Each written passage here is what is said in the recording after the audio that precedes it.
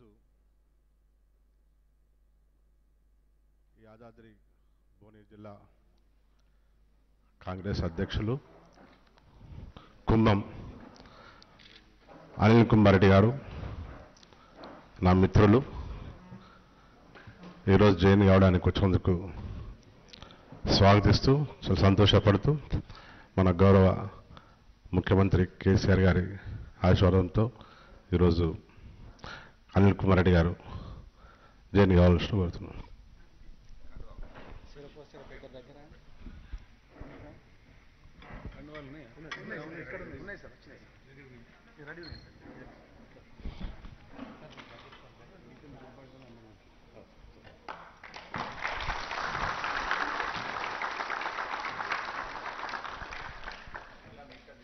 list MPP Nuthi Ramesh Valligonda MPP గారు నూతి రమేష్ గారు vice MPP గారు టౌన్ వల్లిగొండ టౌన్ అధ్యక్షుల వారు వల్లిగొండ సర్పంచ్ గారు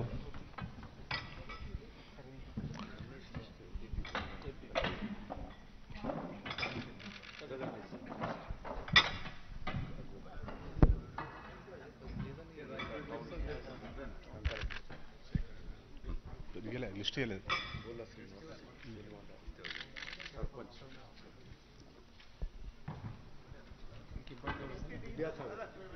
విద్యాసాగర్ గారు విద్యాసాగర్ రెడ్డి గారు. Bala Narasimha vice MPP.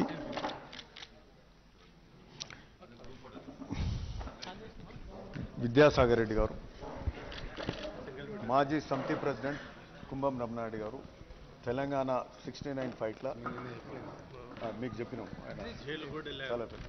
Chennareddy గారి విద్యాసాగర్ రెడ్డి గారు. చిన్న Sudhakar ward member.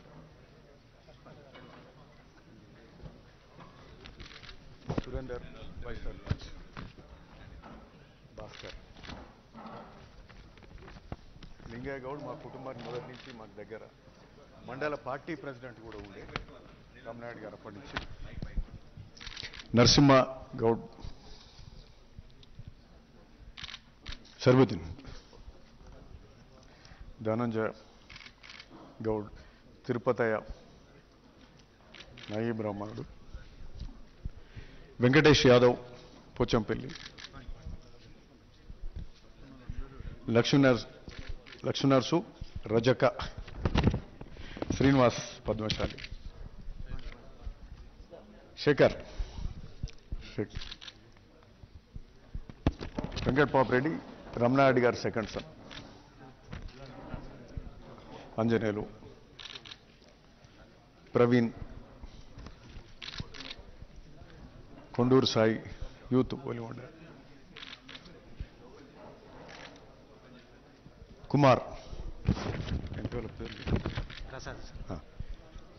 Prasad. పేరు చెప్పు? శివ. కమ్ శివ. మురళి కదా యా. కిరణ్. మల్లపల్లి. రమేష్ రెడ్డి ఇంద్రియాల కూచంపల్లి? రఘునందన్ రఘునందని రఘునందన్ సహదేవ్ మల్లెపల్లి. మల్లికార్జున్. రమేష్.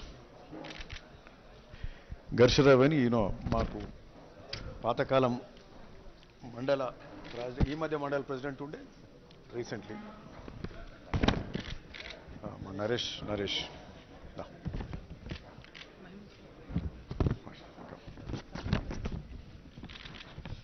దా.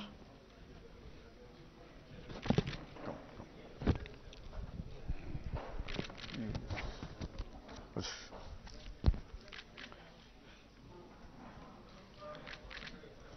దా. పేరు చెప్పండి దేవేందర్ ఓలిగొండ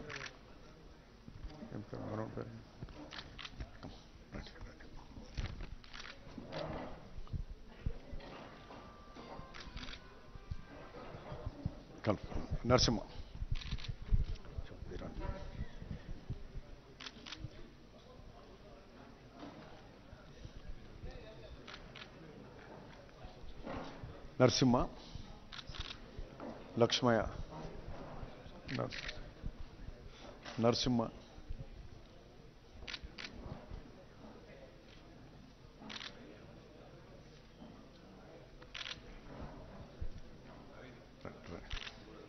మా పేరు?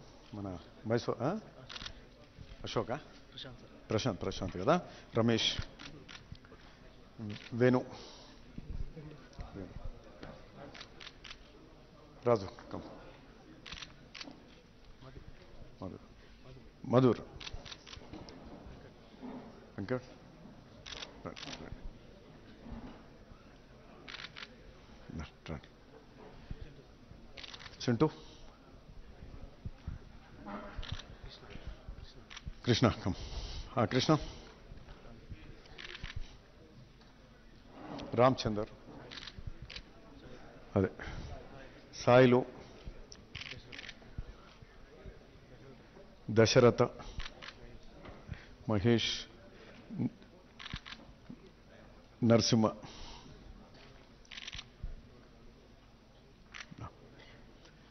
మీనయ్య.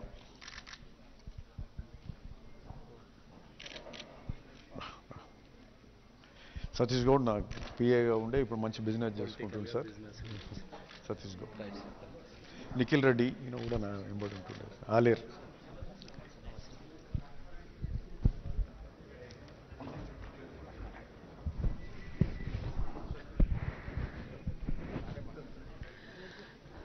ఈరోజు భువనగిరి యాదాద్రి జిల్లా కాంగ్రెస్ అధ్యక్షులు భువనగిరి నియోజకవర్గ ఇన్ఛార్జ్ కుమ్మం అనిల్ రెడ్డి గారు కాంగ్రెస్ పార్టీ ఏదైతే మళ్ళీ రైతు వ్యతిరేక విధానాలను అనుసరిస్తూ ఉందో మళ్ళీ కరెంటును మూడు గంటలకు తగ్గించాలని చెప్పి ప్రయత్నాలు చేస్తూ ఉందో ఈ రైతు వ్యతిరేక విధానాలకు నిరసనగా ఆ పార్టీకి రాజీనామా చేసి ఇరవై నాలుగు గంటల కరెంటును ఇస్తూ తెలంగాణను అద్భుతంగా విద్యుత్ వెలుగులో నింపుతున్న అభివృద్ధి పదంలో భారతదేశానికే అన్ని రంగాల్లో ఒక రోల్ మోడల్గా తెలంగాణ తయారు చేసిన గౌరవ పెద్దలు బీఆర్ఎస్ పార్టీ అధ్యక్షులు కేసీఆర్ గారి సమక్షంలో వారి అనుచరులతో చేరడానికి వచ్చిన సందర్భంగా వారికి పార్టీలోకి ఆహ్వానం తెలియజేస్తూ ఈ కార్యక్రమం ఉద్దేశించి ప్రసంగించాల్సిందిగా పెద్దలు రాష్ట్ర నిర్మాత భారతదేశానికే ఈ ఈ రాష్ట్రాన్ని దిక్సూచిగా నిలిపిన పెద్దలు కేసీఆర్ గారిని మాట్లాడాల్సిందిగా విజ్ఞప్తి చేస్తా ఉన్నాను.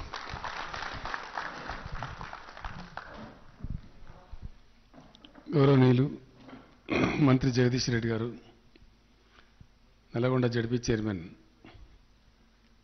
మిత్రులు నరేందర్ రెడ్డి గారు.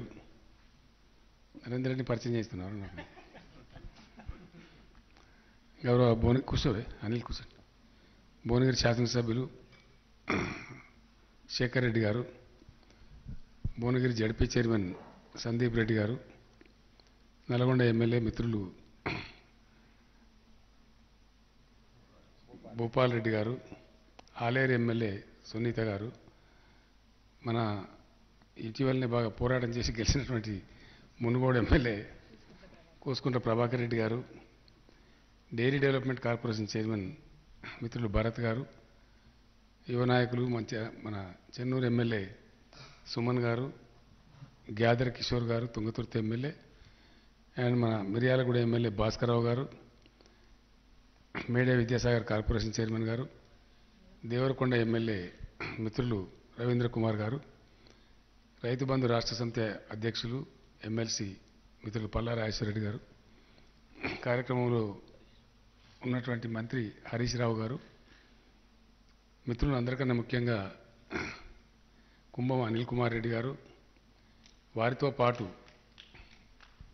విచ్చేసినటువంటి మిత్రులందరికీ కూడా నేను హృదయపూర్వకంగా మీ అందరికీ స్వాగతం తెలియజేస్తాను. వాస్తవానికి బీఆర్ఎస్ పార్టీ రాజకీయం కంటే కూడా ఒక టాస్క్ కోసం పుట్టినటువంటి పార్టీ. ప్యూర్లీ పాలిటిక్స్ కాకుండా ఇది పుట్టిననాడు ఒక లక్ష్యంతో ఒక రాష్ట్రాన్ని ఏర్పాటు చేసుకోవాలి ఎట్టి పరిస్థితుల్లో లేకపోతే అప్పటికే ఆగమైపోయినామని చెప్పి ఆ లక్ష్యంతో పుట్టిన పార్టీ. గతంలో చాలామంది పెద్దలు చాలా ప్రయత్నాలు చేసినారు. నిన్ననే మిత్రుడు అనిల్ కుమార్ రెడ్డి గారు నాకు చెప్పినారు. వారితో పాటు ఒక సంతి ప్రెసిడెంట్ గారు రమణారెడ్డి గారు. చెన్నారెడ్డి గారితో పాటు జైల్లో కూడా పోయి ఉన్నారు. అట్లా ఎంతోమంది ఎన్నో త్యాగాలు చేసినారు. మూడు చింతలపల్లిలో వీరారెడ్డి సాబ్ ఉన్నారు. ఆ మండలం పేరే నేను వీరారెడ్డి మండలం అని పేరు పెట్టిన. ఆ- రోజులో వాళ్ళు కొట్లాడింది కాబట్టి. దాని తర్వాత ఉద్యమం నీరుగారిపోయినా కూడా మళ్ళీ స్టార్ట్ అయ్యి స్టార్ట్ చేసి కొట్లాడితే సరే మీరందరూ చూసిన మీ కళ్ళ ముందు జరిగిన చరిత్ర. అనేక ఇన్సల్టులు అనేక అవమానాలు అవహేళనలు అయ్యేదా అంటే పోయేదా అంటే రకరకాల మాటలు మాట్లాడినారు. కానీ భగవంతుని దయ తెలంగాణ ప్రజల అదృష్టం. చాలా గొప్పగా మన రాష్ట్రాన్ని సాధించుకున్నాం. చాలా తికమగా పెట్టినారు నన్ను అప్పుడు కూడా. హైదరాబాద్ మీద కాంప్రమైజ్గా ఇదిగా అదిగా అంటే హైదరాబాద్ లేని త తలకాయలేని మొండవితే తెలంగాణ మాకెందుకు? ప్రారంభమైన స్థలం ఒప్పుకోమని చెప్పి చివరికి హైదరాబాద్ సమేతంగా మన తెలంగాణ రాష్ట్రాన్ని మనం సాధించుకున్నాం. ఇక్కడనే నేను మీకు ఒక ముఖ్యమైన పాయింట్ చెప్పాలి. ప్రభుత్వాలు పనిచేస్తాయి. పెద్ద ఇష్యూ కాదు. ఎవడు ప్రభుత్వమైనా పనిచేయాల్సిందే తోచిన కాడికి చేస్తారు. ఇక్కడ మనం పనిచేసిన పద్ధతి ఏంటంటే ప్రతిదాన్ని ఒక టాస్క్ లాగా. తెలంగాణ ఉద్యమాన్ని తెలంగాణ రాష్ట్రం సాధించడాన్ని ఎట్లయితే భావించుకున్నామో ఇప్పుడు కరెంట్ ఉన్నది. నాకన్నా ముందు చాలామంది ముఖ్యమంత్రులు పనిచేసిండ్రు. నాకన్నా ఎత్తున్నోళ్ళు నాకన్నా దొడుగునోళ్ళు ఎంతోమంది ముఖ్యమంత్రులు అయినారు ఒకటి చిన్న ప్రశ్న మనం ఆలోచించుకుంటే తెలుస్తుంది ఎందుకు కరెంట్ ఇవ్వలేకపోయినారు? ఏం కారణం? ఇవాళ ఎక్కడికి వెళ్ళి వచ్చింది కరెంటు? రావటమే కాదు ఇంత క్వాలిటీగా గతంలో ఆ బాధలు సిద్దిపేటలో హరీష్కి ముందు నేను ఎమ్మెల్యే ఉన్నప్పుడు అది వర్ణనాతీతమైన బాధ.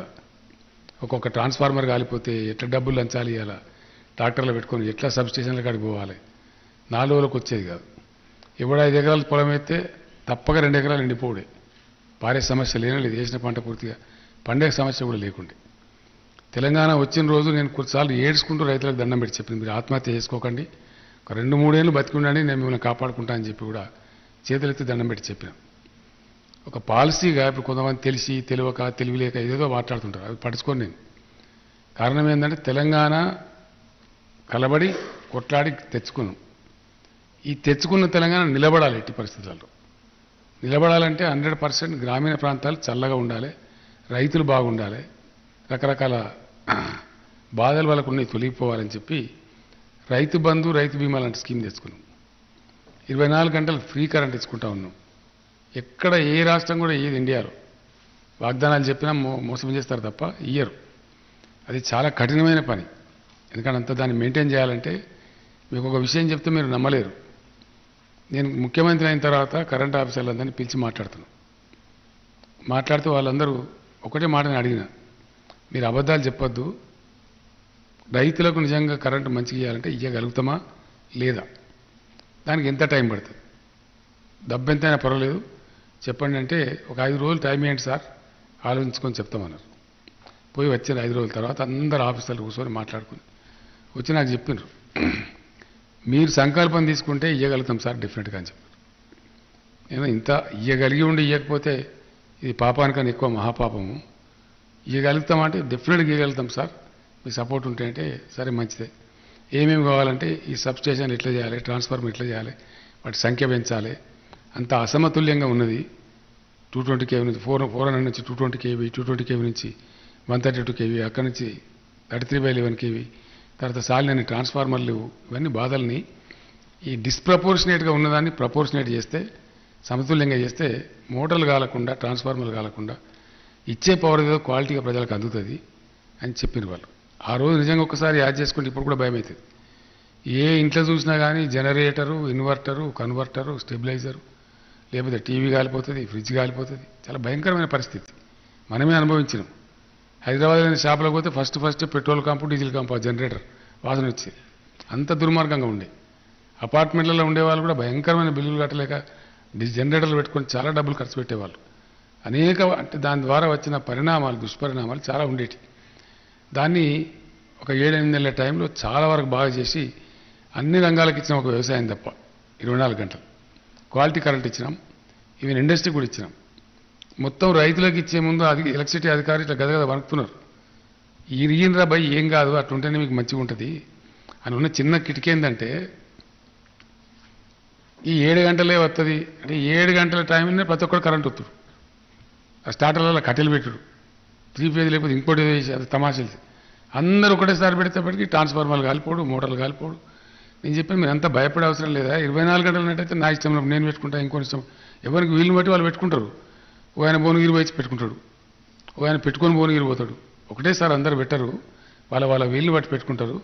ఉంటుంది అనే భరోసా ఉంటే ఆరాంగా చేసుకుంటారు. మీరు అంత పరిశాన్ కాకుండా చెప్తే ఇచ్చిండ్రు. ఇప్పుడు రైతులు నడితే ఏం చెప్తున్నారు? మూడు గంటలు ఇస్తారంటే మూడు గంటలు ఏడవుతారా నాకు అర్థంగా తిడుతున్నారు ఇష్టం వచ్చినట్టు. ఇరవై నాలుగు గంటలు ఉంటే ఇవ్వనికి వీలినట్టు వాడు పెట్టుకుంటాడు నడుతుంది బతుకుతాం కానీ అది ఎట్లా సాధ్యమైందనే మాట వస్తుంది. అప్పుడు రైతులు కూడా అన్నారు స్టార్టింగ్లో నాతో ఏమన్నారంటే సార్ ఇరవై నాలుగు గంటలు సాయంత్రం ఉన్న భూగర్భం నీళ్ళు ఎత్తిపోతాయేమో అది కూడా పరిస్థితి అవుతుందేమో అర్థం కాక. దానికి సంబంధించి మనం ఏం చేసినామంటే మిషన్ కాకతీయ చేసుకొని ఆ రోజు కాకతీయ రెడ్డి రాజులు పుణ్యం కట్టుకుని మనకు తవ్విచ్చారు చెరువులు. ఆంధ్రప్రదేశ్లో చాలా ఆగమైపోయినాయి అవి. మళ్ళీ నలభై ఆరు వేల చెరువులు మిగిలితే ప్రతి దాన్ని ప్రతి ఒక్క చెరువును కూడా మంచిగా చేసి దాని సామర్థ్యం పెంచుకున్నాం. అయితే ఆ రోజు జరిగింది ఏంటంటే అధికారులు వచ్చిన తర్వాత లాస్ట్ రెండు పాయింట్లు అడిగారు నన్ను. ఇవన్నీ విషయాలు చెప్పి సార్ ఇంకొక రెండు కో చేస్తే తప్పక బాగుంటుంది. అంటే ఏంది? సార్ మాకు కరెంటు అప్పుడప్పుడు ఇట్లా ఫ్లక్చువేట్ అవుతుంటుంది. అది ఫిఫ్టీ సైకిల్స్ మీద నడవాలి. కిందికి వచ్చినా కానీ దెబ్బ కొడుతుంది గ్రిడ్ కొలాప్స్ అవుతుంది. ఎక్కువ వచ్చినా కూడా గ్రిడ్ కొలాప్స్ అవుతుంది. కాబట్టి అప్పుడప్పుడు ఎమర్జెన్సీలో మేము ఒక యాభై మెగావాట్లో వంద మెగావాట్లో కొనాల్సి ఉంటుంది. కొనాలంటే మాకు డబ్బులు కావాల్సి ఉంటుంది. వాడు అవతల నువ్వు మేము అడిగితే వాడు ఏమంటాడు? నువ్వు కరెంట్ ఇడుగురా అంటే నువ్వు డబ్బు పెట్టమంటాడు ఎల్సి ఓపెన్ చేయమంటాడు. దానికోసం మేము సర్కార్ల ఫైల్ పంపి వచ్చే వరకల్లా వారం పది రోజులు అవుతుంది. ఆ లోపల ఆయనతో కుప్ప కూలుతుంది ట్రాన్స్ఫార్మర్లు కాలుతాయి రైతులు రోడ్ల మీదకి వస్తారు పంచాయతీ అంత ఉంటుంది. మేము ఖర్చు పెట్టాము వృధా చేయం మీకు హామీ ఇస్తున్నాం. ఒక ఇరవై ఐదు కోట్ల రూపాయలు ఫైల్ పంపకుండా మేము ఖర్చు పెట్టే అనుమతి ఇవ్వండి ఎమర్జెన్సీ సందర్భాలు ఎదుర్కోవడానికి. నేను చెప్పిన నా కరెంట్ కావాలి మేము ఇరవై ఐదు కాదు ముప్పై ఐదు కోట్లు పెట్టుకో ఏం ప్రాబ్లం లేదు. పెట్టి సంతోషంగా అని చెప్పాను. ఆ తర్వాత ఇంకోటి లాస్ట్ కోరిక అన్నారు ఏంది అంటే ఒకటే మాట చెప్పారు వాళ్ళు.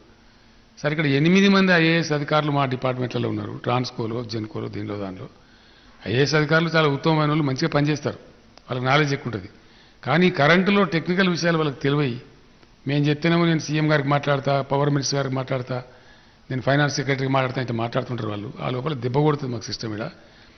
మీరు ఏమనుకోకపోతే మా మీద భరోసా ఉన్నట్టయితే మమ్మల్ని నమ్మితే ఇక్కడి నుంచి ఐఏఎస్ ఆఫీసర్లను తీసేయండి సార్ అని చెప్పారు. ఇది తొమ్మిదిన్నర ఏళ్ళ కింద నాతో వాళ్ళు చెప్పిన మాట ఆ రోజు నుంచి ఈ రోజు వరకు సింగిల్ ఐఏఎస్ ఆఫీసర్ కూడా కరెంట్లో లేడు. అందువల్లనే కంప్లీట్ టెక్నోక్రాట్స్ మీద ఇంజనీర్స్ మనం ఆధారపడి చేస్తున్నాం కాబట్టి బ్రహ్మాండంగా జరుగుతూ ఉంది ఐఏఎస్ అధికారులు ఇతర రంగాల్లో వాళ్ళు పనిచేస్తూ ఉన్నారు. అక్కడ పని బ్రహ్మాండంగా జరుగుతూ ఉంది. ఇది చేయాలంటే ఇది విల్ పవర్ కావాలి. దీనికి ఊరికే తమాషాగా రాదు. అంత ఈజీ కాదు. ప్రతి ఒక్క విషయంలో ప్రభుత్వం లోతుగా దూసుకుపోయి పూర్తి అవగాహన చేసుకొని పూర్తి అండర్స్టాండింగ్తోని చేసినప్పుడు పనులు సక్రమంగా జరుగుతాయి. మొత్తం భారతదేశంలో ఎక్కడ లేనటువంటి కరెంటు ఇలా తెలంగాణలో మనం ఎట్లా ఏ కారణం నుంచి తీయగలుగుతున్నాం? ఒకటి. రెండవది కొంతమంది ఎకానమిస్టులు ఆర్థిక శాస్త్రవేత్తలు వాళ్ళు వీళ్ళు వాళ్ళ భాషలో వాళ్ళు చెప్తారు. వాళ్ళు ఏమంటారంటే ఇంత డబ్బా అనండి వ్యవసాయానికి. మీరు పదివేల రూపాయలు ఎకరానికి రైతు బంధు ఇస్తారు వాళ్ళని చచ్చిపోతే పది ఆ డబ్బు కడతారు బీమా సౌకర్యానికి కరెంటు ఫ్రీగా ఇస్తారు మరి ధాన్యం కొని మళ్ళీ అమ్ముతారు మీరు అనే నుక్సాన్ వస్తుంది మనం. ధాన్యం మనం కొని మన దగ్గర పెట్టుకొని మళ్ళా ఎఫ్సీఐకో ఇంకోనుకో ఇచ్చేవరకు ఏమైందంటే టైం అవుతుంది. అలా బ్యాంకులో ఇంట్రెస్ట్ మన మీద పడుతుంది ప్రభుత్వం మీద. నిన్న మా రైతుల కోసమే కానీ మా రైతులు ఆగమైపోయి ఉండ్రి చెట్టుకోడు గుట్టకోడు అయిన ఉండ్రి. భూములు అమ్ముకున్నారు నాశనం అయిపోయినారు. కాబట్టి అది వాళ్ళు కుదురుకునేదాకా గ్రామీణ ప్రాంతాలు వ్యవసాయం మంచిగా కలకలలాడేదాకా ఒక పది పదిహేను ఏళ్ళు ఇది చెయ్యాలి ఆ తర్వాత నువ్వు ఇయ్యకున్నా పర్వాలేదు. కానీ ఆ విధంగా చెయ్యాలి ఖచ్చితంగా అని చెప్పి అందరు అధికారులకు ప్రతి ఒక్కరికి సంజాయం చేస్తే ఇవాళ తెలంగాణలో వ్యవసాయం తెల్లబడి ఇప్పుడిప్పుడు కొంచెం రైతుల జేబులో డబ్బులు కనబడతాయి. కొంచెం మంచిగా ఉంటుంది. అర్థం కాని కాదు. అర్థం చేసుకున్నకి ఎట్లయిద్దంటే రైతు దగ్గర మంచిగా పంటలు పడి నాలుగు రూపాయలు ఎక్కువ ఉంటే మార్కెట్లో షావుకారుల గలాలు గలగలాడతాయి ఒక డ్రెస్ కొనుక్కుంటే ఆయన రెండు డ్రెస్సులు కొనుక్కుంటాడు పిల్లల్ని మంచి చదువులు చదివిస్తారు. అన్ని అన్ని రకాలుగా మళ్ళీ మార్కెట్లోకి వస్తుంది ఆ డబ్బు. రైతు దగ్గర ఆగదు. దాంతో కూడా రాష్ట్రం యొక్క ఆర్థిక అభివృద్ధి జరుగుతుంది. దాన్ని స్పిన్ ఆఫ్ ఎకానమీ అంటారు. బాగా అర్థం చేసుకుంటే అర్థమవుతుంది. అట్లా మన రాష్ట్ర ఆర్థిక పరిస్థితి కూడా ఇలా ఇండియాలో మనం నంబర్ వన్ అయినాం. తలసరి ఆదాయంలో. ఊరికే ఓలే. ఈ వ్యవసాయంలో పెట్టిన పెట్టుబడి కూడా మనకు రిటర్న్ వచ్చింది మళ్ళీ. రిటర్న్ వస్తూనే ఉన్నది. ఎనభై వేల కోట్లు పెట్టి కాళేశ్వరం ప్రాజెక్ట్ కడితే ఎప్పుడో తీరిపోయింది దాని బాకీ. పంటలు పండేది ఒక్కొక్కసారి పండితే మూడు మూడు కోట్ల టన్నులు పండుతుంది ఉసుకమన్నట్టే పండుతుంది వడ్లు. మీరందరూ కూడా చూస్తాను నేను హెలికాప్టర్ మీద అక్కడ నొక్కిన వదిలి ఆ కళాల సమయంలో ఎక్కడ చూసినా కానీ ఆ టార్పాలిన్ పేపర్లు వడ్డకుప్పలు డాంబర్ రోడ్లు అన్నీ ఆక్రమించేస్తారు. సగం డాంబర్ రోడ్డే ఉంటుంది మనం పోవడానికి. అంత బ్రహ్మాండంగా పంట పండుతుంది దాన్ని చూసి చాలా సంతోషం అనిపిస్తుంది. గుండెలు ఉప్పొంగుతాయి. ఎస్ ఈ తెల ఈ దీనికోసమే తెలంగాణ తెచ్చుకున్నాము. అనే ఒక సిస్టంలో నేను మనోళ్ళు అక్కడ అంటే కూడా నేనంటే మరి మీరు ఎందుకు తెచ్చారు తెలంగాణ నాకు అర్థం కాదు. ఎక్కడ వదిలిపెట్టరు. ఎక్కడ కూడా వాగులలో వదిలిపెట్టరు. ఇలా మనం చెక్ డ్యాములు కట్టుకున్నాం. ఆ ట్రిక్కు మనకు తెలుస్తుంది వేరే ఏమని తెలియదు. ఈవెన్ అధికారులకు కూడా తెలియదు. బావిలో ఇడిచిపెడితే చెక్ డ్యాములు నిండితే గ్రౌండ్ వాటర్ మంచిగా ఉంటుంది. బోర్లు మంచిగా పోతాయి. సింపుల్ ముచ్చట. అదే వేరే వాళ్ళు అయితే నూనె నూనె నో బావిలో ఎట్లిస్తారండి బుద్ధి లేదా మీకు అన్న? వాటి తీస్తారని అట్టుంటుంది ఇలా రైతులకు పెట్టింది కూడా ఏ విధంగా అంటే మళ్ళీ ten HP fifteen HP twenty HP five HP అట్లా పెట్టలే నేను ఇక. రైతుకు ఉచిత కరెంట్ ఇస్తానప్పుడు కడప నిండి అందాలి అంతే. నువ్వు ఎన్ని హెచ్పి పెట్టుకున్నావు? ఇలా రైతు దగ్గరికి వచ్చేవాడు కోన ఆయన అడిగే కొడుకులేడు లేకపోతే కరెంటులు పెట్టే బాధలు కూడా మామూలు ఉండకపోవు అవి కోసేసుడు వైలు కోసేసుడు బెదిరించుడు పట్టకపోవుడు అవన్నీ కూడా మనం అనుభవించినాం. ఈరోజు తెలంగాణ దానిలో నుంచి ఫ్రీ అయి బయటపడ్డది. వ్యవసాయ రంగం చాలా చక్కగా పోతున్నది.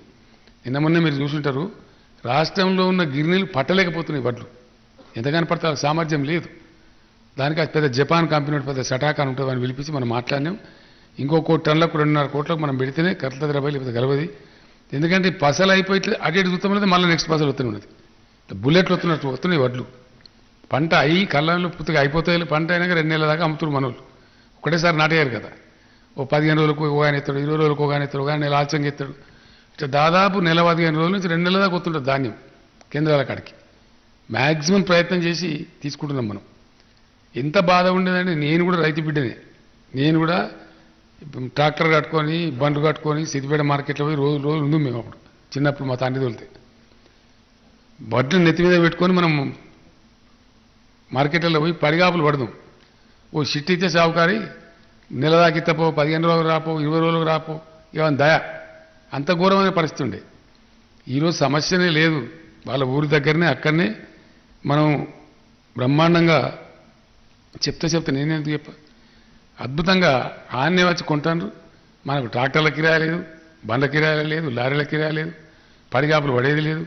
స్ట్రేట్గా డబ్బులు వచ్చి బ్యాంకులో పడుతుంది భూములు మనం బ్రహ్మాండంగా డిజిటలైజ్ చేసినాం కాబట్టి ధరణి అనే పోర్టల్ తెచ్చినాం కాబట్టి చాలా అద్భుతాలు జరుగుతున్నాయి. ధరణి అనే పోర్టల్లో జరిగింది ఏంటంటే యాక్చువల్ దాని ఫిలాసఫీ ఏంది? ఇప్పుడు మీ భూమి ఉంది. భూమి మీదే. పట్టా ఉంది సరంత ఉంది. కానీ దానికి ఎంతమంది భర్తలు ఉంటారు ఆ భూమికి? విఆర్ఓ అధికారం గిరిదావరికి అధికారం ఎంఆర్ఓకి అధికారం ఆర్డీఓకి అధికారం జాయింట్ కలెక్టర్కి అధికారం మీదికి పోతే రెవెన్యూ సెక్రటరీకి అధికారం ఇంతమంది పెత్తనం ఉండే దాని మీద. కేసులు పెట్టి లంగ పంచాయతీలు చేసి పాలి పంచాయతీలు పెట్టి ఏడొక్క దగ్గర పోయి వాడు గెలిచినా మన కథం మన మన భూమి కథం. ఇవాళ మనం చేసింది ఏంది? ధరణి ద్వారా వచ్చింది ఏంది అసలు యాక్చువల్గా ధరణి ద్వారా ఈ సిస్టమ్ మొత్తం తీసేసి నీ భూమిని నువ్వు తప్ప ఈ ప్రపంచంలో ఎవడు మార్చలేడు. నీ భూమి యొక్క హక్కును నీ బుడన పెడితే తప్ప మారదు నెత్తి కొట్టుకున్న మారదు. ఎవడు మార్చే అధికారం లేదు. జిల్లాల ఎంఆర్ఓకు లేదు ఆర్డీఓకు లేదు కలెక్టర్కు లేదు రెవెన్యూ సెక్రటరీకి లేదు సీసీఐలకు లేదు రెవెన్యూ మినిస్టర్కి లేదు ముఖ్యమంత్రి కూడా లేదు. ముఖ్యమంత్రి భూమి కూడా అదే పద్ధతిలో ఉంటుంది. సామాన్య రెండు ఎకరాల రైతు భూమి కూడా అదే పద్ధతిలో ఉంటుంది. ఒకటే పోర్టల్లో ఉంటుంది. మళ్ళీ అమ్మినా కొన్న రెండే నిమిషాలు సైట్లో చూస్తూనే ఉండొచ్చు. మన ఫోన్ తీసి చూస్తూనే ఉండొచ్చు. ఇంత అద్భుతమైన తెచ్చినాం. ఏ సాధారణ ఉంటాయి. ఇప్పుడు సమస్యలు రెవెన్యూకి సంబంధించిన సమస్యలు పాలిపగలు పిచ్చి పంచాయతీలు ఓ టూ పర్సెంట్ వన్ పర్సెంట్ ఉంటుంది. ఇంకోటి కూడా మీకు నేను చెప్పాలి కొంతమంది రాంగ్ ప్రచారం చేస్తారు. యాక్చువల్లీ తెలంగాణ భూభాగమే రెండు కోట్ల డెబ్బై ఐదు లక్షల ఎకరాలు మొత్తం భూభాగం మనది. అందులో ఒక కోటి యాభై ఆరు లక్షల ఎకరాలు ధరలు వచ్చేసింది. ధరణిలో వచ్చిందంటే ఏ లఫడా లేదు ఇప్పుడు మాట్లాడేది లేదు రికార్డు మారేది లేదు. ధరణిలో ఎక్కిన తర్వాత మారాలంటే రైతే మారాలి చాలు తప్ప ఎవ్వరికి ప్రపంచంలో అధికారం లేదు. ఇక్కడ క్వశ్చన్ ఏంది? నీకు ధరణి మీద నీ భూమి మీద నీకు సంపూర్ణ అధికారం నీకు ఎంపవర్మెంట్ చేసి అధికారం నీకు ఇచ్చిన దాన్ని ఉంచుకుంటావా పొడగొట్టుకుంటావా? ఇంతకుముందు పరాయి పెత్తనం ఇతరుల పెత్తనం ఉన్నటువంటి నీ భూమి మీద దాన్ని తీసిపడేసి నీకే అధికారం ఇచ్చినాం. నీ భూమికి నువ్వే యజమానివి యజమాని కాకుండా మార్చే హక్కు కూడా నీకు ఇచ్చినాం. మధ్యలో కూడా మార్చలేడు. అంతకుముందు వీఆర్ఓలు చేసిన కథ మామూలుగా లేకుండే. ఈయన భూమి ఆయనకి రాసి ఆయన భూమి ఇంకో ఆయనకి రాసి పెద్ద కథ చేసి చాలా గందరగోళం పెట్టారు చాలామంది కొట్టుకొని తలకాయలు వాలిపోడు చచ్చిపోడు. ఇవాళ తెలంగాణలో భూముల విలువ ఎంత పెరిగింది అసలు ఎక్కడి నుంచి ఎక్కడికి పోయింది?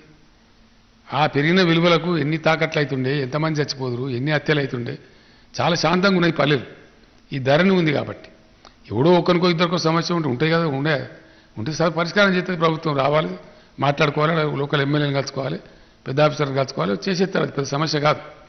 కానీ అదే సమస్య చిత్రీకరించేటువంటి కొన్ని దుష్టశక్తులు పనిచేస్తున్నాయి.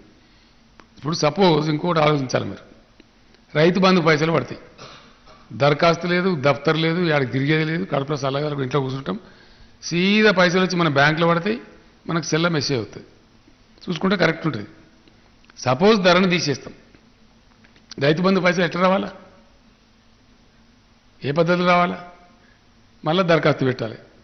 మళ్ళీ ఎంఆర్ఓ ఆఫీస్కోవాలి అగ్రికల్చర్ దగ్గర వాని దగ్గర పోయి సలాం కొట్టాలి. వాడు రాస్తాడు నువ్వు చేసినావని ఏం నమ్మకం ఉన్నది? అరే వేసిన లావ్ నాకేమిస్తావు నీకు నీకు ఇరవై వేలు వస్తుంది కదా నీకు ముప్పై వేలు వస్తుంది కదా. నాకేమైనా ఇస్తావా లేదా? అంటే మళ్ళీ లంచాలు పెట్టాలి. ధరని ఉండడం వల్ల ఏమవుతుంది మూడు జరుగుతున్నాయి. ఒకటి నీ రికార్డు ఎవ్వడు మార్చలేడు. Land safe. రెండవది ఏమవుతున్నది దాని కింద రావాల్సినటువంటి డబ్బులు ప్రభుత్వం నుంచి రావాల్సిన సహాయం. బాజప్తా ఆన్లైన్ వచ్చి నీ బ్యాంకులో పడుతుంది. నీ ధాన్యం కొనుగొన్నప్పుడు అప్పుడు కూడా మునుపట్లక చిట్టీలు తిరిగి మండీల చుట్టూ సావుకాల చుట్టూ బీట్ల చుట్టూ తిరిగే దంద లేదు. సీదా పైసలు వచ్చి బ్యాంకులోకి వస్తుంది. రెండో పంట అప్పుడు ఏమవుతుందంటే వర్షాకాలం పంట అయిపోతుంది అమ్ముతారు రైతులు. ప్రభుత్వం ధన్మని బ్యాంకులకు పంపిస్తుంది డబ్బులు. నాలుగు ఐదు ఆరు రోజుల లోపల వచ్చి బ్యాంకులో పడతాయి. అదే సమయంలో మళ్ళీ రెండో పంట పెట్టుబడి వస్తుంది. కాబట్టి రైతు మూడు రూపాయల మిత్తికి నాలుగు రూపాయల మిత్తికి ఇప్పుడు అప్పులు తీసుకునే పరిస్థితి లేదు. ఎవ్వరు కూడా తీసుకుంటలేడు. బంద్ అయిపోయింది. బ్యాంక్ రుణాలు కూడా ఇష్టం ఉంటే తీసుకుంటూ లేదు ఎందుకంటే వాటికి మితికడ తీసుకుంటలేరు. ఇది ఒక మంచి అద్భుతమైన పరిణామం. ఇది రైతాంగానికి శాశ్వతంగా ఉపయోగించే పరిణామం. ఈ మధ్య నేను మన పార్టీ పెట్టి మహారాష్ట్రలో తిరుగుతున్నాం. అక్కడ పటవారి పేరు పటవారి అంటే వీఆర్ఓ పేరు తలాటి అంటారు వాళ్ళు. నేను అడుగుతున్న సభలలో తలాటి ఉండనా తీసేయాలంటే మొత్తం మంది ముక్తకంఠంతో తీసేయాలి సార్ అని చెప్తున్నాను ఇంత మంచి సదుపాయం ఈ ఇండియా మొత్తంలో ఏ రాష్ట్రం లేదు. ఎందుకంటే మనం ఆగమైపోయినాం కాబట్టి తెలంగాణ కంబైన్డ్ స్టేట్ ఆంధ్రప్రదేశ్లో ఉండి నీళ్ళకు గోసపడ్డము కరెంటుకు గోసపడ్డము ధాన్యం అమ్ముకుంటూ గోసపడ్డము వేసిన ఐదు ఎకరాల వరకు రెండు ఎకరాలే పండి గోసపడ్డము. రైతులు ఉన్నోళ్ళం కూడా ఇటుకి వచ్చి ఆటోలు నడిపిన పరిస్థితి కళ్ళారు చూసినాం మహబూబ్నగర్ జిల్లా నుంచి కొన్ని ఇతర ప్రాంతాల నుంచి. ఎక్కడైతే కరువు పడితే హైదరాబాద్కి వచ్చి ఆటోలు నడిపిన ఇరవై ఎకరం ముప్పై ఎకరం ఉన్న రైతులు కూడా. అంత దుస్థితి ఉండే. ఏం చేసైనా సరే రైతు నిలబెట్టాలి రైతు చల్లగుంటే గ్రామాలు చల్లగుంటాయి పది మందికి అన్నం పెడతారు. అన్ని రకాల లాభం జరుగుతుందని చెప్పి మనం చేసినాం అది జాగ్రత్త ఫలించింది. అట్లనే ఎన్నో స్కీములు ఎంతో మందికి. అనేక రకాల లాభాలు జరిగినాయి. ఇవన్నీ కూడా చేసినామంటే ఏంటంటే ఒక సంకల్పం తీసుకొని చాలా చక్కటి పత్రులు చేసినాం. ఫైనల్ మీకు చెప్పేది ఏంటంటే కాళేశ్వరం నీళ్ళు తెచ్చినాం. రేపో మాపో మీ బసవపూర్ రిజర్వాయర్ కూడా నిండబోతా ఉంది. బ్రహ్మాండమైన నీళ్ళు వస్తాయి అద్భుతమైన నీళ్ళు వస్తాయి ఇప్పుడు ఈ సంవత్సరం నింపుతుంది బసవపురాన్ని. ప్రాజెక్ట్ కట్టినప్పుడు ఏంటంటే మొత్తం ఒకసారి నింపకూడదు. కొత్త ప్రాజెక్ట్ కాబట్టి మూడో భాగం మూడో భాగం మూడో భాగం చొప్పున నింపుకుంటూ పోతారు. కానీ కాలువలకు అందే మందం వచ్చేస్తుంది బ్రహ్మాండంగా. అటు ఆలేరు నియోజకవర్గం కానీ భువనగిరి నియోజకవర్గం కానీ బ్రహ్మాండంగా వజ్రపు తుణుకలు అయితే చాలా అద్భుతంగా అంత గొప్పగా. నీళ్ళు వస్తాయి కాళేశ్వరం కాబట్టి. మళ్ళీ మీకు ఎక్కడికి వెళ్తాయంటే మల్లన్న సార్కి వస్తాయి అది నెత్తి మీద కూడబెట్టుకున్నట్టే ఉన్నది భువనగిరి కాలేరుకు. అది ఎత్తి మీద ఉన్నది ఈ కాన్స్టిట్యూన్సీలో కిందికి ఉంది. ఆ మళ్ళా నుంచి పంపింగ్ లేదు మల్లన్న సార్ నుంచి. కానీ షటర్ తీస్తే మీకు నీళ్ళు ఉరికెత్తా ఉంటాయి. ఖజానా అది. అది యాభై టీఎంసీల ప్రాజెక్టు. కాబట్టి భువనగిరిలో ఆలేరులో శాశ్వతంగా కరువు అనేది రాదిగా మనం బతుకున్నాం చూడం అంత అద్భుతమైనటువంటి పని ఆ బస్వాపూర్ ప్రాజెక్ట్ కూడా అయిపోయింది ఆల్మోస్ట్. ఇలా చివరి దశలో ఉంది. ఆ నీళ్ళు కూడా వస్తాయి మనకు అక్కడికి. చాలా బాగా జరుగుతుంది. ఇట్లా ఇటువంటి మంచి పనులు చాలా చేసుకుంటూ పోతా ఉన్నాం. ఇంకా అనేక కార్యక్రమాలు జరిగినాయి. మీకు అన్న ముందే ఉన్నాయి. మీరు చూస్తూ ఉంటారు. ప్రతిరోజు మీ ఊళ్ళలోనే జరుగుతున్నాయి. నేను ఎక్కువ చెప్పను. కానీ మిత్రుడు అనిల్ కుమార్ రెడ్డి గారు చాలా మంచి ప్రభావవంతమైన వ్యక్తి. ఆయన కష్టపడి జీవితంలో బిజినెస్ చేసి పైకి వచ్చిన వ్యక్తి. నేనే చెప్పిన ఎందుకు ఊరికే శేఖర్ రెడ్డి నువ్వు పోటీ పడి డబ్బులు తగిలిస్తారు వేస్ట్గా మీ ఒక పోస్ట్ తీసుకొని మంచిగా ఇద్దరు కలిసి గట్టిగా చేయండి. చెరొక పదవి మంచిగా జోడేలాగా బండి లాగుండి బ్రహ్మాండంగా. భువనగిరి జిల్లా బండి లాగుడు లాగితే అద్భుతంగా నడితే కోలేయాలో ఉన్నారు మంచిగా. ఎందుకు కొట్లాడతారు? అంతే కదా? బ్రహ్మాండంగా నడుతుంది. వలపల దాపల రెండేళ్ళు సమానుడు బ్రహ్మాండంగా పోతుంది కత్రం అట్ట చేయరా బాబు ఎందుకు? తెలంగాణ మీకు నాకు దగ్గర అరవై తొమ్మిది సంవత్సరాలు వచ్చాయి. డెబ్బై ఏళ్ళు వస్తాయి ఫిబ్రవరి వస్తాయి. రేపటి తెలంగాణ మీది భవిష్యత్తు మీది యువకులు మీరు దీన్ని మీరు పాలించుకునేది మీరే నడిపించుకునేది మీరే. నేను ఒక తొవ్వ దారి చూపించి పోతాం. ఎవరు బతకరు కదా వెయ్యి ఎవరు బతుకుతారు నాకు అర్థం కదా. ఎంతసేపు పని చేస్తాం? పానం వాడమని చెప్పి చేస్తాం. జర కొంచెం కింది అయితే అయిపోయి ఏం ఉంటుందా? కాబట్టి మీరు యూత్ ఉన్నారు మంచిగా ఉన్నారు. ఈ విభేదించుకొని రాజకీయంగా ఘర్షించి కోట్ల కోట్ల రూపాయలు ఖర్చు పెట్టడు కాదు. ఇద్దరు కలిసి అదంతా కరువు ప్రాంతం ఉండే ఒకప్పుడు చాలా బాధపడ్డాం. ఆలయ ఏరియా కానీ భువనగిరి ఏరియా కానీ ఇలా మంచిగా ఉంది బ్రహ్మాండంగా ఇద్దరు కలిసి బాగు చేయమని అంటే నా మాట గౌరవించి వారు వచ్చిండ్రు వారు వెంట మీరందరూ వచ్చిండ్రు. నేను మరొక్కసారి మీకు హృదయపూర్వకమైన స్వాగతం తెలియజేస్తా ఉన్నా. మీరందరూ తన మీద ప్రేమతో వచ్చారు కాబట్టి ఆయనకే రాజకీయ భవిష్యత్తు గురించి ఇప్పుడు నాది జిమ్మెదారి ఇంకెవరు జిమ్మెదారు ఉండదు. నేను ఒక ఒకసారి ఒక మాట చెప్పినా అంటే నా ప్రాణం పోయినా సరే వెనక పోయేది ఉండదు. ఒక మాట అన్నామంటే అక్కడ నాగార్జున సార్లు ఎలక్షన్ జరుగుతూ ఉంటే ఆ భగత నోముల నరసింహ గారి కొడుకు నాయన చచ్చిపోయిండు. ఆయన కాకుండా వేరే వాళ్ళకి ఇస్తే బాగుండదు అధికారం ఉంటుంది పిల్లగాడు ఉన్నాడు అడ్వకేట్ ఉన్నాడు అని చెప్పి చెప్తే అక్కడ కోటిరెడ్డి గారిని ఇంకోలేడు అన్నాడు. నేను మంత్రి గారికి చెప్పిన ఆయనకి సంజాయించి చెప్పు నువ్వు ఆయన ఎమ్మెల్సీ చేద్దాము ఎమ్మెల్యేకి ఈక్వల్గా ఉంటుంది మంచి గౌరవించుకుందాం అని చెప్తే కోటిరెడ్డిని పిలిచి చెప్పిన నేను. నా మాట గౌరవించి ఆయన సహకారం చేశాడు. ఇమీడియట్గా నెక్స్ట్ వచ్చిన ఎమ్మెల్యేలు ఎమ్మెల్సీలు ఆయన ఆయనకు తెలియకూడదు తెలియదు. నేనే ఫోన్ చేసి పిలిచి మంత్రి గారికి చెప్పి పడి చెప్పించి ఎమ్మెల్సీ కూడా చేసుకున్నాం. ఇట్లా ఒకసారి నేను చెప్పినా అంటే దానికి తిరుగుండదు. బ్రహ్మాండంగా ఆయన రాజకీయ భవిష్యత్తు చాలా మంచిగా ఉంటుంది అన్ని విధాలు బాగుంటుంది. మంచి యువకుడు ఉత్సాహం ఉంది. శేఖర్ రెడ్డి అనిల్ రెడ్డి కలిస్తే భస్మం అయిపోతాడు ఏముంది మిగిలది. చాలా అద్భుతంగా పని జరుగుతుంది. భువనగిరి జిల్లా ప్రగతికి చాలా దోహదపడుతుంది నేను చేసేది నేను చేసిన. బీబీ నగర్లో ఎయిమ్స్ తీసుకురావడానికి కానీ శేఖర్ నేను చంపుతుండే ఓకే అది రావాలి రావాలని పొద్దున్న లేత లొల్లు పెడుతుండే. అది కూడా తెచ్చుకోగలిగినాం. ఇలా జిల్లా కేంద్రం పెట్టుకున్నాం. చాలా బ్రహ్మాండంగా యాదాద్రి డెవలప్ చేసుకున్నాం. ఇంకా చాలా కావాలి. అయిపోదు. మంచి లీడర్లు ఎప్పుడు రిలాక్స్ కావద్దు. ఇంత చేసినాం కదా అని అనుకోవద్దు. ఇంకా అద్భుతంగా జరగాల్సిన పనులు ఉన్నాయి ఇప్పుడు బస్వాపూర్తో చాలా లాభం జరుగుతుంది మనకు అక్కడ. రెండు నియోజకవర్గాలు రామన్నపేట కూడా కొంత పోయే ఆస్కారం ఉంటుంది. అట్లా చాలా మంచిగా బాగుపడతాం మనం. ఆ విధంగా ఇద్దరు కలిసి అద్భుతంగా పనిచేయాలని చెప్పి నేను శేఖర్ రెడ్డి గారిని కోరుతా ఉన్నా. శేఖర్ రెడ్డి గారు కూడా పాతోళ్ళు కొత్తోళ్ళని భేదం పట్టుకోవద్దు. అంతా కలిసిపోయి మంచిగా ప్రేమతోని అనిల్ గారిని మీరు గౌరవించి మిమ్మల్ని అనిల్ గారు గౌరవించి చాలా అద్భుతంగా ఆ ప్రాంతాన్ని అభివృద్ధి చేయాలి. గెలుచుడు ముఖ్యం కాదు గెలుచుడు గెలుతాము గాడపలు ఏదోసారి ఎందుకు గెలిచినామని జనం అనుకోవాలి. ఈ ఎమ్మెల్యే ఉన్నారంటారు మంత్రి కావాల్సిన రాబోయే పబ్లిక్ ఆ పేరు రావాలి. ప్రజలకు ఆ సేవ జరగాలి. అదే గొప్పతనం. అటువంటి పని చేస్తేనే యాది ఉంటుంది. ప్రజలు యాది పట్టుకుంటారు. ఆ పదవి వచ్చిందని కూడా సార్థకమవుతుంది కాబట్టి ఆ రకంగా మీరు ఇద్దరు కలిసి చేసి ఆ జిల్లాను బ్రహ్మాండమైన జిల్లా తయారు చేయాలని చెప్పి కోరుకుంటూ వారికి మీ అందరికీ మరొకసారి మనస్పూర్వకంగా స్వాగతం తెలియజేస్తూ నేను సెలవు తీసుకుంటా ఉన్నా జై తెలంగాణ.